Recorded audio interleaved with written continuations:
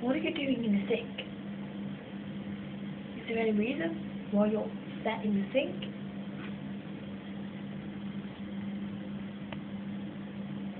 Would you like a bath? Uh, oh, all tired.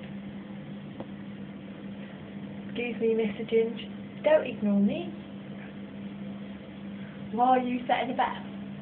Sink for me.